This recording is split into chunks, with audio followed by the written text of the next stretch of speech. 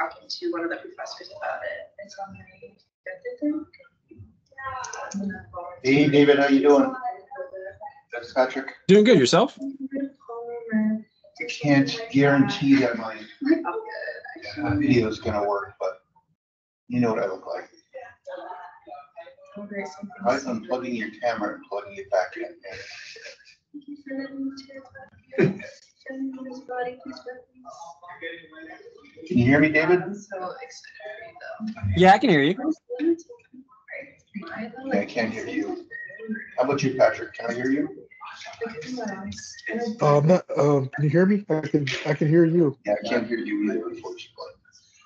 I will put up the chat, try and keep an eye on it as we're going in case you have questions. And then compare you to the. Oh, there's my video. And like I'm already lucky because my undergraduate had a cadaver lab, but it was very hands off.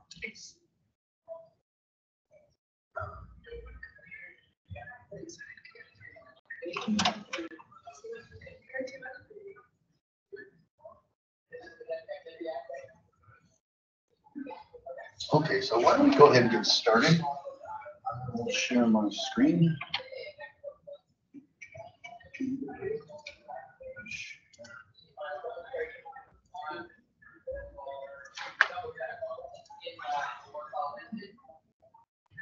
And we're going to start out. oops.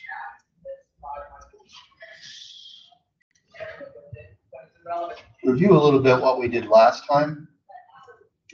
And probably finish this section. Uh, again, just to repeat myself, which I do a lot. Um, kind of the point of this section is to see how signal transduction is involved in inducing different tissues and causing the uh, production of new tissues, which then causes gastrulation and the production of three axes of symmetry in chordates and vertebrates. So here we are talking about axes of symmetry, no axis of symmetry like sponges and things like that. Um, I always say that as if I know anything about besides humans. Sponges are made this way.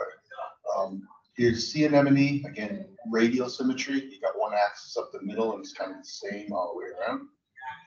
And then you've got your um, your chordates and and uh, vertebrates, which have got dorsal ventral, anterior, posterior, left and right, in and out of the out of the. And where would we be without dogs? So that's kind of the point of this lecture. Where would we be without dogs? Okay, so I want to skip ahead a little bit because we'll talk all about that stuff point here of, of the lecture was just to talk about how gastrulation happens. And then we'll talk about why it's happening in terms of, of, uh, signals in transcription factors and things like that. I'm just gonna close the door because there's a lot of noise coming in here.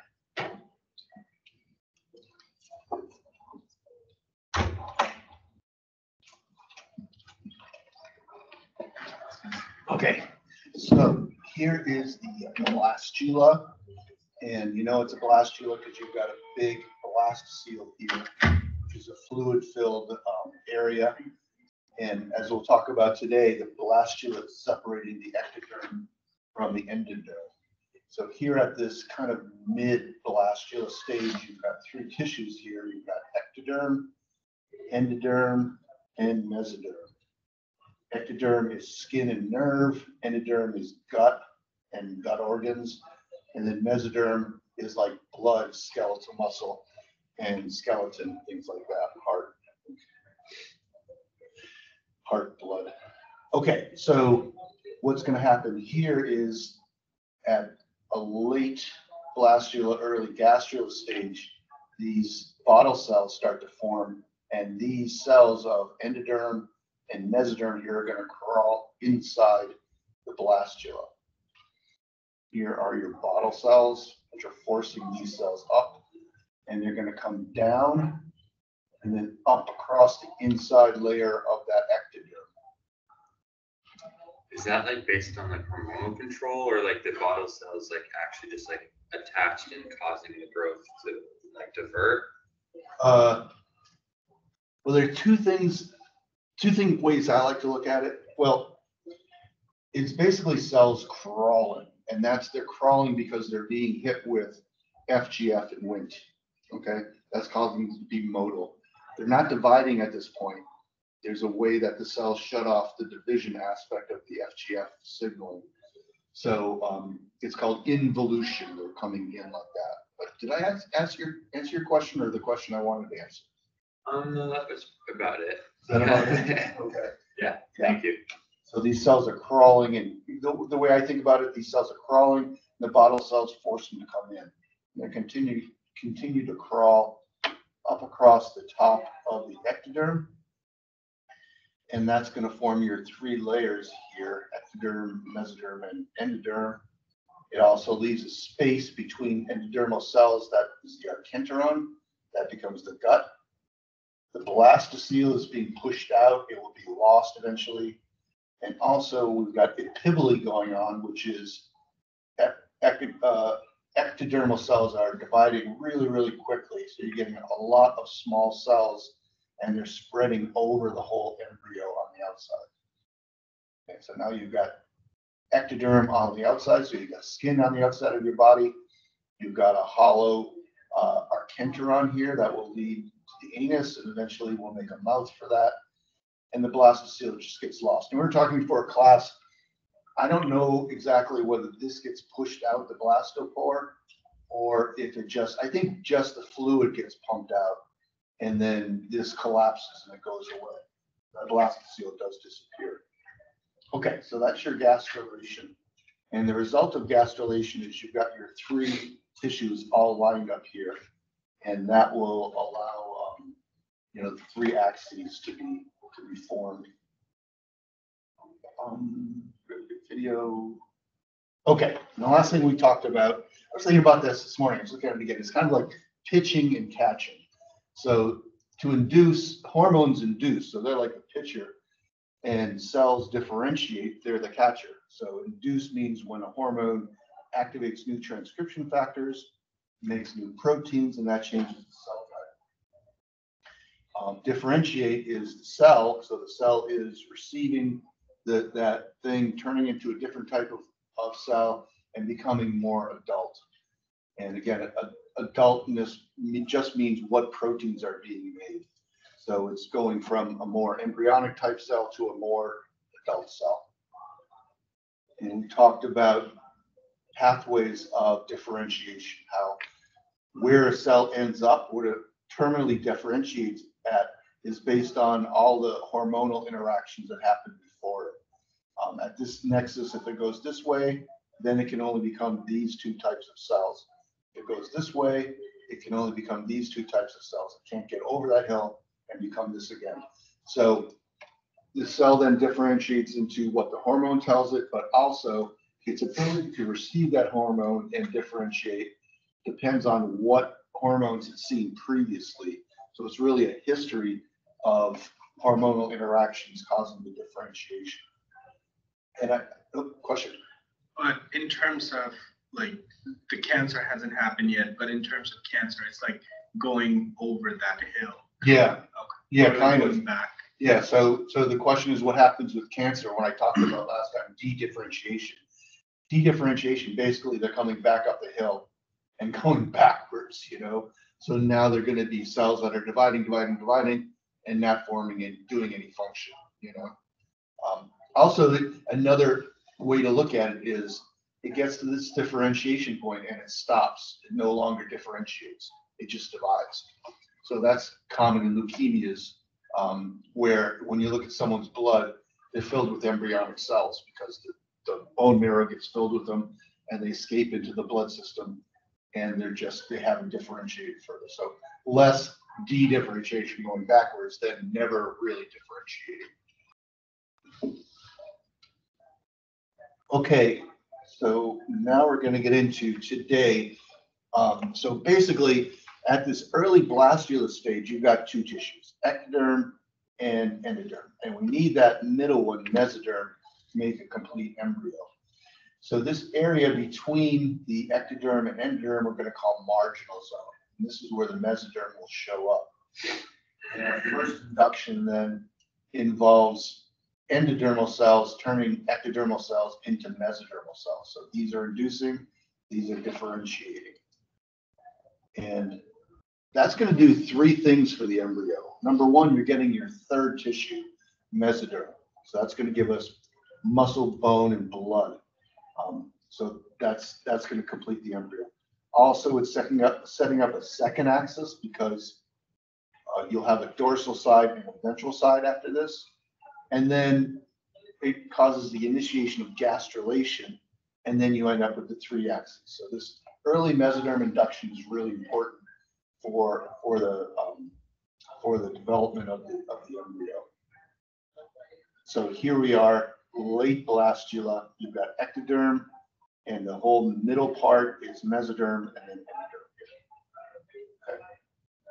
How does this happen? So to a certain extent, I'm going to start out talking about historically how people figure these things out. And we're talking early 20th century, so obviously no molecular tools. We're not looking at proteins or genes. We're just taking these embryos, taking them apart, and then seeing what happens. So here we are, a two cell stage embryo. So it's just divided once longitudinally. These are your polar bodies, um, so they're not important here. So we take this two stage, two cell embryo and cut it in half, and we find out that each of them will develop into a complete embryo. So at this point, you can you can make um, clones basically of each other. And we don't know what, I haven't talked about why yet, but it's because this cleavage, this first cleavage goes through this area. That's going to be really important to us. So anyway, at this two cell stage, these two cells are, are identical and they're totipotent. They can become anything in the embryo. Now, if we take it to the next step, after the second cleavage, we've got four cells. Separate these and they're no longer totipotent. Now they're pluripotent. Um, so these two cells back here will end up being ventral. So they'll have no dorsal structures, no anterior structures, no axis, just, just ventral tissue.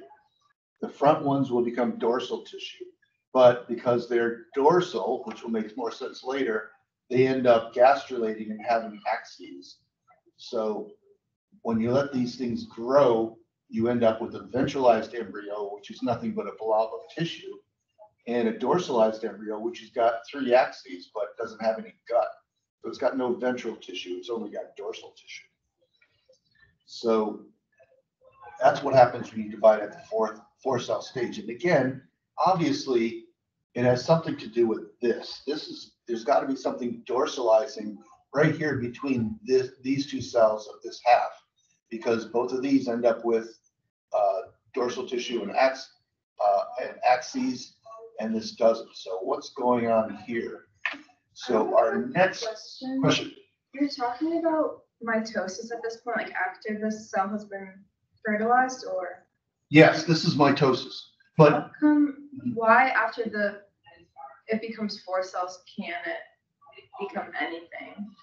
What, what, what about it? Right, so the question is, why is it at the four cell stage when separated, it's now pluripotent and not totipotent? Right, why can't it become anything?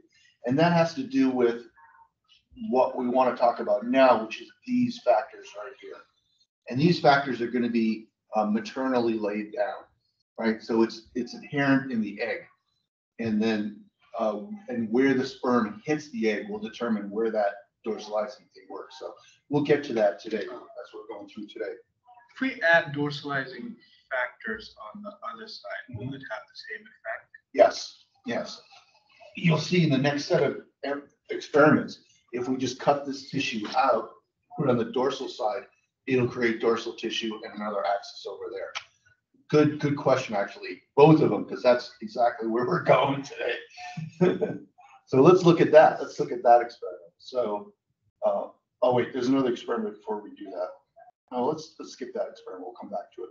So as long as you guys are asking. So what happens if you take this dorsal tissue out and stick it into another embryo on the ventral side? Well, that dorsal tissue is going to cause an axis to form. So now we get two axes. And this is called twinning, where you've got twin embryos here. Um, and so this cell here, this is very early, this is early blastula, thirty-two cell stage, is, is going to be the Nieuwkoop center. So keep that name in mind, because we're gonna come back to it. Um, and then you can also take a later stage embryo. Here's early gastrula. We're going to take a chunk out above the blastopore lip. So that last cell would have been down here. Um, of course, this is a much later embryo, but that tissue was here. Now we're taking above that tissue.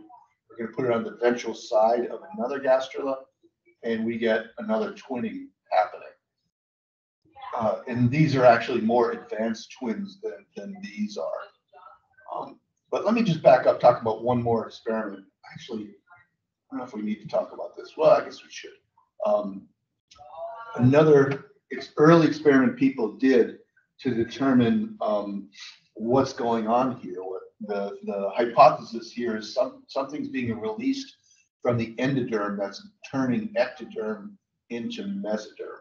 So how do we test that? Um, we're gonna remove the ectoderm from a blastula and then dissect away any mesoderm that happens to be there. Uh, put the ectodermal cap right on top of the endoderm. And then the endoderm ends up turning that ectoderm into mesoderm. So we're changing the cell fate and, and we're only getting ventral and lateral mesoderm. So that'll make more sense later, but here's the experiment. Basically, you cut the animal cap off, take it out, and you make sure it's nice and clean, so you didn't take any mesoderm. And then you put that ectoderm on top of the endoderm, and some factors from the endoderm are going to turn that ectoderm all into mesoderm. And it's gonna be a lateral and ventral mesoderm, not dorsal mesoderm. Okay, so that's just another um, induction experiment. So, and then this is the experiment I'm talking about in this early blastula. We're gonna take a chunk out of here, put it over there, and we get two axes. So there's something going on here is what we're learning from this experiment. Something, there are some uh, factors here, proteins, genes, something going on here that's causing this axis to form. So that's where we want to focus. Let's watch this video. This is kind of cool.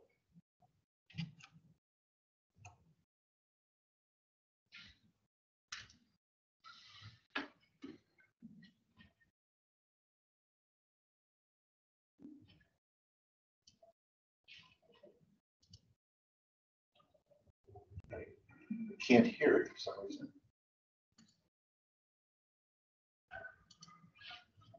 You can watch it anyway.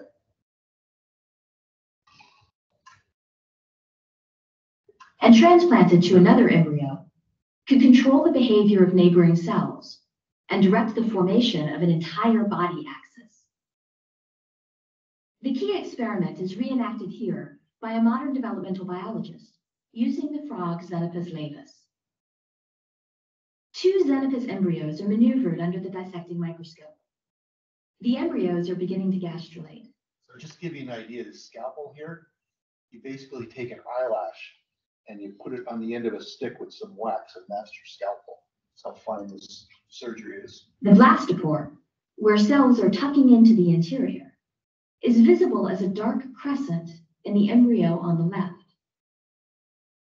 The dorsal lip of the blastopore contains the organizer cells. With a pair of forceps and a fine tungsten needle, a block of organizer tissue is cut from the embryo on the left. Using a hair plucked from a human eyebrow, the block of tissue is gently pushed into a site on the ventral side of the other embryo. An hour later, the graft has healed into the host embryo, and the organizer cells have been integrated at an ectopic site.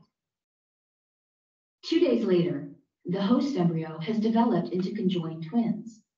The grafted organizer has caused the host cells around the graft to form a second body axis, complete with central nervous system, eyes, somites, and other structures.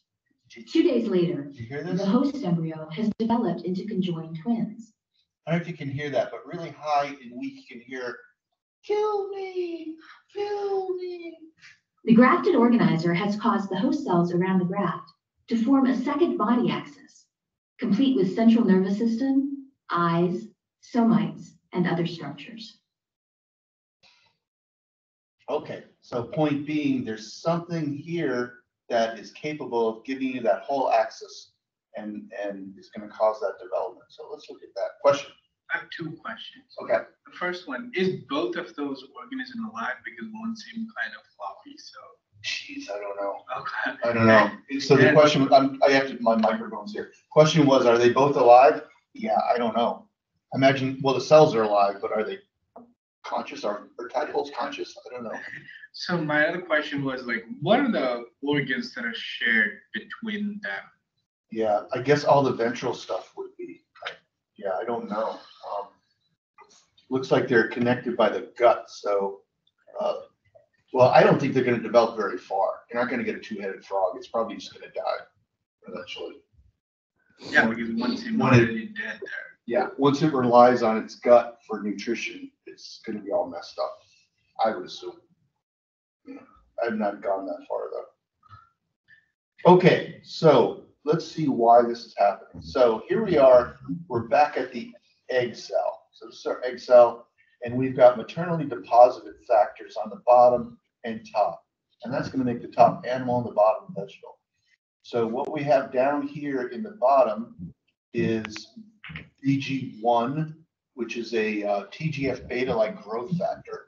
Um, Veg T, which is a transcription factor, beta catenin, transcription factor, Wnt, which is a growth factor, and Dishevel, which is a signal transduction molecule. So what you should know about all of these things, one thing, keep in mind which ones are growth factors, because they're going to be secreted and diffused away.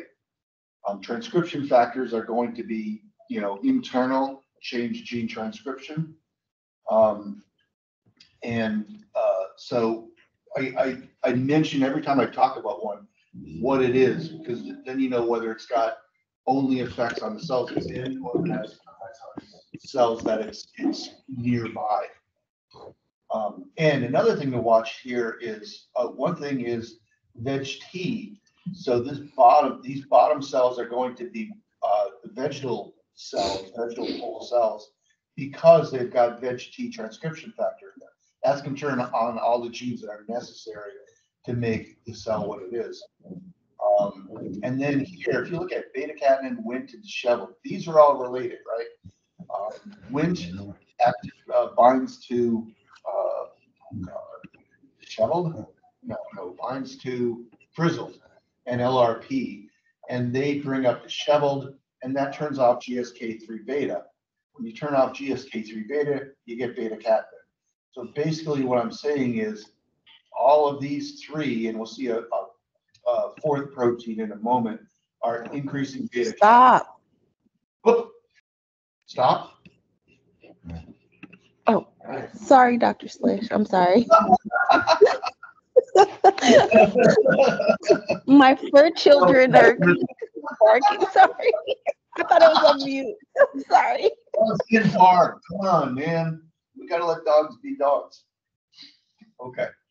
All right, so bottom line, all this stuff is going to increase beta catenin. So keep an eye on beta catenin. That's the key here. Uh, okay, so how do we get it over here? Because this is where our dorsal lip was. This is where all that activity was. So what happens is the cortex, these things are all attached to the cortex of the cell. We usually think of the cortex as being, you know, right here underneath the plasma membrane, which it is, and attached to transmembrane proteins and stuck there. But in this early embryo, this cortex can move. So what happens is when the sperm enters, the cortex rotates. So it's going to rotate away from where the sperm entered. So wherever the sperm enters, and it can enter anywhere in the animal pole in 360 degrees, wherever it hits, the cortex then is going to rotate away from that spot. And that puts all these dorsalizing factors kind of at an angle. I forget exactly the angle. It's like 30 degrees, I think, or something from, from where they started at.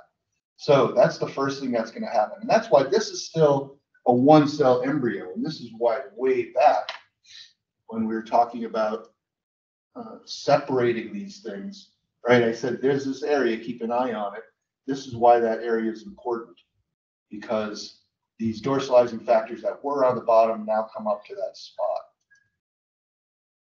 Does it have the ability to move wherever it needs to? So like if the sperm does, like what if it hits directly on dorsalizing factors, will it just do a whole one eighty or? Well, if it, it can't, the sperm can't penetrate anywhere down here. Okay, Okay, that's vegetal cells. It'll only penetrate in the animal side. Do they, do like the outer layer move itself or is it like it changes the other cell eventually, like moving forward? Like, There- This is just one cell, okay? So it's just one cell and the inside of the cell is rotating. So the plasma membrane is, is still and the inside is rotating. Oh, okay, so rather than outside rotating, it's the inside that Right, right. And it's kind of neat too, when you're doing this experiment, basically you take the eggs, you dump sperm on them, and when you get the eggs, they're kind of like upside down, right side up, they're all, all different angles. And when they get fertilized, they all rotate with the, with, with the, uh, the externally rotate, so that the animal pole is up and the vegetable pole is down. So you're looking at your dish of embryos, you're seeing yellow and brown all over the place, and eventually it's all brown on top. There's something about this that has nothing to do with what we're talking about here, but something about this rotation causes them all to change their buoyancy so that they, they're that way. But anyway, what we're talking about here is dorsalizing factors, sperm enters the animal pole, and the cortex rotates, and brings them up at an angle over here. Okay, so what are we talking about here? Again, Wnt, beta catenin, uh, disheveled. These are three that we talked about already. They all increase beta catenin. And the third one's GSK3 binding protein. So this is just another protein that's going to inhibit GSK3 beta and increase beta catenin. So what we're doing is accumulating beta catenin in this area here. Okay, so, and just kind of reviewing these signal transduction pathways. Here's your Wnt pathways, frizzled, disheveled, LRP. And here's the destruction complex breaking down beta catenin. And then when Wnt is around, forms this complex, which inhibits GSK3 beta, and beta catenin's all allowed to build up. The other signal transduction pathway that's going to be really important here when we're inducing mesoderm is the TGF beta-like signal. So kind of reviewing this, the TGF beta-like signaling, you've got two types of receptors, the type 1 and the type 2. Type 1 will bind the hormone, type 2 will bind to type 1 when the hormone's around. So your hormone shows up, TGF beta, they form a complex, activates the serine threonine kinases in the, in the cytoplasmic domain, and then you phosphorylate the receptor SMAD. And the receptor SMAD, once it's phosphorylated, binds to SMAD4 and enters the nucleus. Okay, pretty simple pathway. Here's what's key about this. Here we're just calling this receptor SMADs. There are a series of different receptor SMADs that can be activated. And then here's SMAD4, and SMAD4 is always the cellular SMAD. So we've got receptor SMADs and cellular SMAD, and there's only one cellular SMAD, that's four. All right, why is that important? I'm glad you asked. I believe I talked about this. Yes, slide 26 of chapter 9.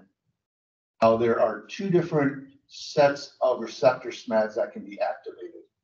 So um, backing up a tad, when we are inducing mesoderm, it's going to be induced by these two hormones, the MP4 and these three Xenopus nodal relateds.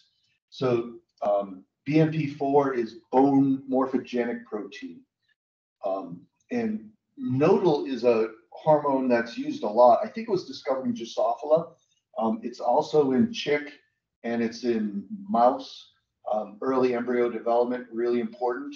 Here, it's just because it's in Xenopus, we're going to call it the Xenopus nodal-like protein, basically. So Xenobus nodal related. And you've got, we've got four different XNRs. Um, three of them are going to be involved here. We'll see that third one later. So XNRs one, two, and four are then going to activate, um, another TGF beta receptor, so TGF beta like receptor. So we've got two different receptors here, one for BMP4 and one for XNRs. The BMP4 one is only going to use receptor SMADs 1, 5, and 8. Okay, and so the XNRs are going to use SMADs 2 and 3. So this is then tells you that you're going to get a slightly different response with BMP4 and with XNRs because those are going to activate different target genes. Here with SMADs 1, 5, and 8, we're going to get ventral mesoderm, okay, which is bone, cart, cartilage, um, stuff like that. And with SMADs 2 and 3, SMAD 4 will induce dorsal mesoderm, and um, we'll just stick with dorsal mesoderm there. Okay, so quick review, we've got two different hormones that are, going to be released from endoderm, BMP4 and XNRs 1, 2, and 4. And they are going to induce mesoderm, BMP4 being more ventral, XNRs more dorsal. Ectodermin is going to come into play here too. So ectodermin is how the cell uh, or how the early embryo is going to make sure that uh, the mesoderm stays where it is. It's not you're not going to end up with an endoderm, uh, uh, an embryo that has no ectoderm because it's all converted to uh, mesoderm. It's going to block the movement of, of this signaling. And it does that by blocking SMAD4. So remember SMAD4, oops, shoot. SMAD4 is necessary for both of them. So ectodermin then is going to be in the uh, animal pole it's going to be released and is going to block um, the, the progression of mesoderm. And we'll see that here. Okay, so here we are in early mesoderm. Remember, VEG-T is the transcription factor that is making this endoderm. And because it's endoderm, it's going to release these nodals. And the nodals are going to turn the ectoderm they run into into mesoderm. And that induction there is going to be limited by ectodermin. Ectodermin is being released from the animal pole and is coming down this way and it's going to block the spread of mesoderm. Um, by the way, the kind of the analog of VEG-T is FoxI1e. FoxI1e is the transcription factor that makes these cells ectoderm, or one of them anyway. And FoxI1e is going to cause the production and release of ectoderm, which is a, I guess you could call it a hormone. Not really. It's, it's going to be in, intracellular. But anyway, it's going to be blocking SMAD4, which then blocks all the um, XNRs and BMP4 activity. So VEG-T releasing nodal. Nodal is a hormone that diffuses up. It converts ectoderm into endoderm in the in the um, marginal zone, and its movement is being blocked by um, ectodermin. And also the blastopore here, or blastocele here, is blocking the movement of that of those um, uh, hormones as well. Yep. Is the uh, is the only the ectoderm layer ectoderm layer is turned into mesoderm, or like half and half of both? Uh... It's only only some of the ectoderm. It, it's only ectoderm converting to mesoderm. Okay. I believe. I'm pretty sure. I, y- yes, yes. The endoderm is not changing. Endoderm is inducing and the ectoderm is being induced. Yeah. Okay, so here's just another way of looking at it, a little simpler drawing. You've got veg T down here, which is making this endoderm. Because you've got veg T, VEG-T is going to cause the production and release of XNRs 1, 2, and 4, and BMP4. So these are growth factors then released by the endoderm, diffusing to the ectoderm, causing it to become mesoderm. So this whole area now is going to become ventral mesoderm. Okay, so that's our mesoderm induction. And you know this is mesoderm because the transcription factor brachyury comes up. Brachyury is kind of a marker for mesoderm. It is a transcription factor that will activate genes that make these mesoderm. Okay. And then it's not until the mesoderms forms that we see, uh, what's it called? Uh, ectodermin, because that's what's inhibiting Right. ec- uh, ectoderm from becoming mesoderm. Right, so that ectodermin is, is, is working its magic right here at this. Just trying to keep the balance of not letting mesoderm overcome, but allowing there to be some change from ectoderm to mesoderm. Exactly, exactly. It's blocking the, the spread of this activity. Yep. Okay, so now we've got ventral mesoderm that we still haven't finished because we need to get dorsal and ventral. We get dorsal involved too. So here again are those factors that were diffused up, or I mean, that rotated up from the sperm entry. And that is going to increase beta catenin here. So the next thing that happens is because you've got a lot of beta catenin here, beta catenin turns on the gene Siamois. Siamois is another transcription factor. And Siamois is going to cause a tremendous increase in XNRs in this point. XNR one, two, and four. So you've got these cells here now are going to be the Nieuwkoop center. And they're the Nieuwkoop center because we've got Siamois coming up. And they're going to release high concentrations of XNRs into these, this, this mesoderm that's right above it. This ventral mesoderm then becomes the Spemann organizer because the high concentration of XNRs induce the production of goosecoid, which is a transcription factor. And goosecoid turns these cells into Spemann organizer. And now the organizer is going to release four factors. Chordin, noggin, follistatin, and our third XNR, XNR3. And I'm going to go through this quick, but I'll cover it four more times before I'm done. These are going to be released from that Spemann organizer and diffuse away. And they're going to inhibit BMP4. So dorsalizing, if we go way back real quick, you'll notice here, BMP4 is giving its ventral mesoderm and XNRs are giving its dorsal mesoderm. So here, we tremendously increase XNRs and that makes us dorsal at this, at this po- point over here. And this dorsal part is then going to give us these three things that are going to diffuse away, and give us a gradient of BMP4 activity. And that will give us our, um, our dorsal ventral axis. So let's see how that works. I know I went through that fast. Doesn't make sense in my mind until you actually see it in the embryo. So let's watch this. Okay. Watch me do this. I get so excited about this. I, I sound like an idiot over here. Okay, so again, X and XNRs one, two, and four, and BMP4 are making ventral mesoderm here.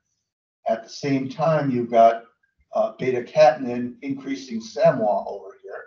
And Siamois then causes an increase in XNRs. So you've got XNR one, two, and four all the way through, but here you've got a ton of it.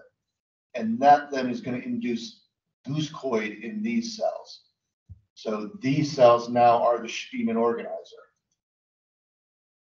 And the Spie- Spemann organizer then is going to make chordin, noggin, follistatin, and XNR3, and they're going to diffuse from this point in this direction.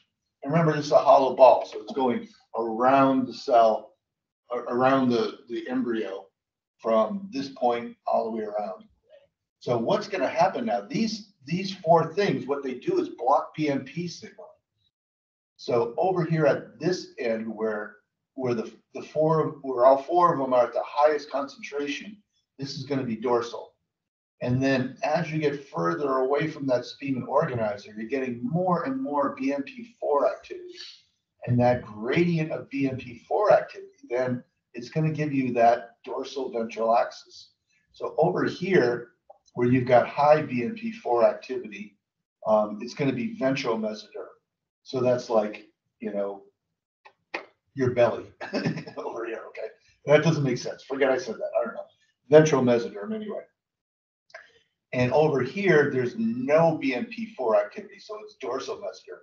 And then everything from here to here becomes somewhere between dorsal and ventral. It totally sets that axis up. And here's the chordin itself kind of exacerbates this uh, um, gradient activity because chordin will pick up uh, BMP. So green is BMP, red is chordin.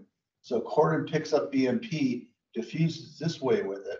And when it gets over here, there's a, there's a, uh kinase that breaks chordin down and releases BMP over here. So it's like a, um, a, uh, a moving walkway.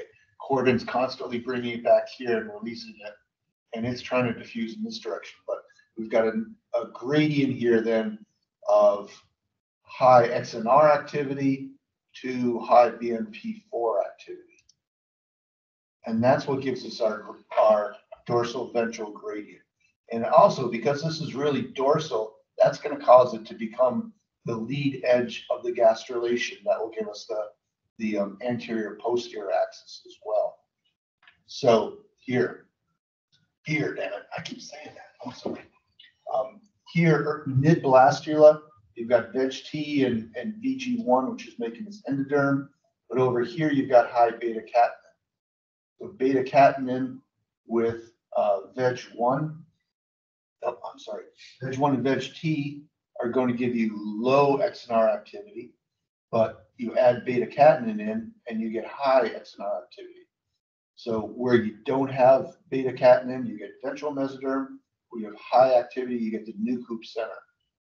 So over here, high XNR, new nucleus center releases um, high XNRs, induction of goosecoid here. So here's your pregastula here, just about to start, really high um, uh, goosecoid turned on here. And goosecoid then releases chordin, noggin, and follistatin that diffuse in this direction, giving us that gradient of BMP4 activity.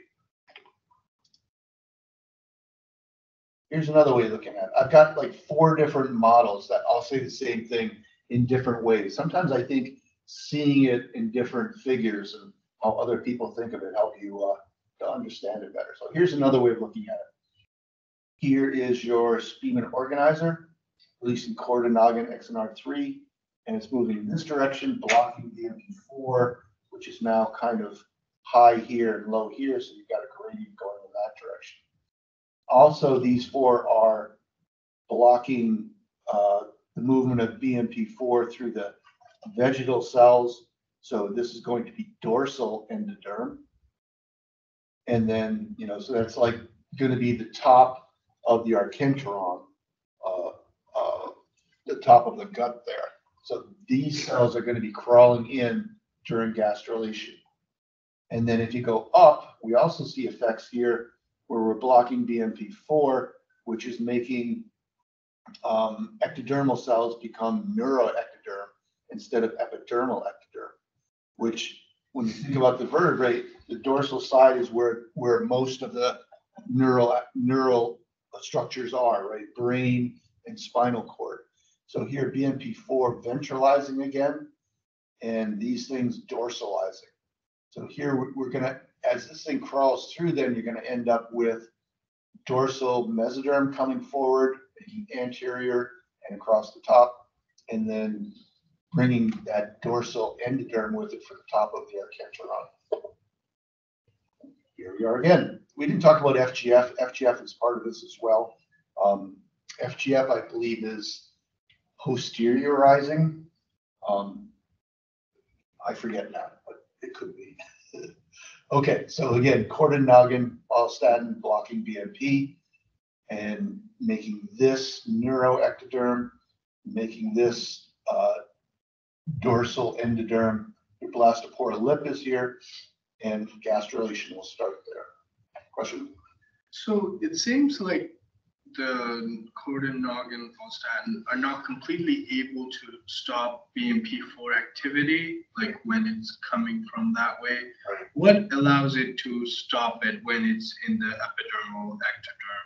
So that it like completely Well, stops it? It's not really going to stop. Let me do one more thing, and then I'll answer that based on the last thing I was going to talk about today. Okay, so here's here's what's going on. So as those three are diffusing away, they are you know high in concentration at the Spemann organizer, and you know just like any diffusion thing, it's going to be less and less concentrated as you get further and further away, okay? So that gives you a gradient then of BMP four, not striped, not like stripe, uh, uh, bright lines between one and the other, but a, a continuous gradient from one end to the other. So how do we get serious stripes out of something that's a continuous gradient? Well, that's one of these beautiful things that happens in early embryo development, in that a gradient can cause different genes to be turned on at different concentrations. So here, this is an experiment where they take um, beads and they coat them with activin. Now, activin is a um, is a TGF beta like um, hormone that's also present here in this early embryo, and it does the same thing XNRs do. It's dorsalizing. So they take this dorsalizing um, uh, hormone, they soak beads in it, and they put it on top of an animal cap. Now, at a low concentration of activin, it doesn't go very far, right? It's diffusing away. It only gets a little bit away from there, and you get low response genes, brachyury, which is um, mesoderm. Okay. And then if you put a high concentration, it diffuses away, and close to the beads where activin's highest, you're getting goose goosecoid, which is Spemann organizer. That's dorsal, right? Versus this yellow, which is kind of middle mesoderm, brachyury. But what's interesting about this experiment is that when you look at it, you get a sharp demarcation between goosecoid expression and brachyury expression and no expression of any mesodermal markers. So this gradient, although it's continuous, is giving us specific markers between one thing and another. Okay, and it has to do with you know the level of gene activation. It's going to turn on a certain set of genes. You turn on more of that, you get different genes being activated.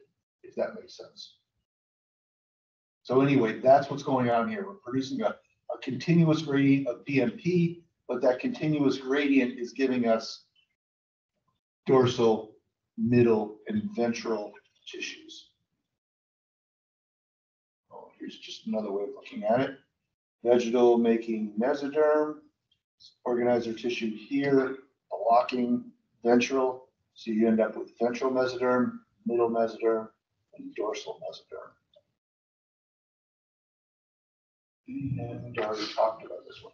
Something. Yeah, I don't know why it's here. This slide doesn't need to be here. Okay, so that's it. That's all I got for this, for this lecture.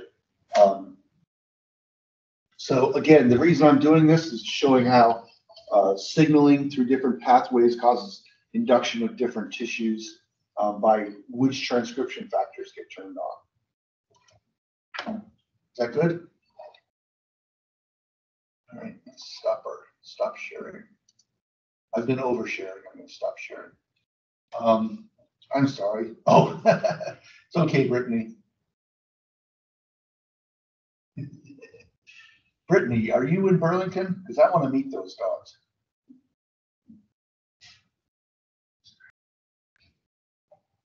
Oh, well, she's not on mute. Okay. Anyway, uh, any questions about today? That's about all I want to do.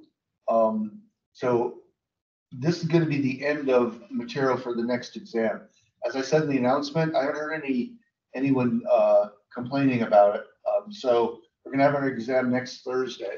I'll put a quiz together today for you guys, and um, that will be up tomorrow morning. So you'll have a quiz on this material, and then next Tuesday we'll review the whole the whole schmear, and then Thursday exam, and then the following week, which will be our last week of classes, I'm going to do MCAT prep, prep on Monday and Wednesday. Um, so that's that's the plan at this point. If everyone's okay with that. Okay, are we good?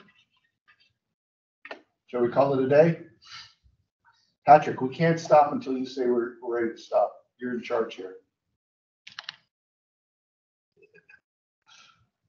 He's ignoring me. Patrick's ignoring me. You just lost three bonus points, Patrick. oh, here he is. We're good. Okay, good. Okay, um, I'm going to shut this off now if I can figure out how, and I'll see you again on Monday. How do I stop this? How do I stop this? And the little red square with the phone, no,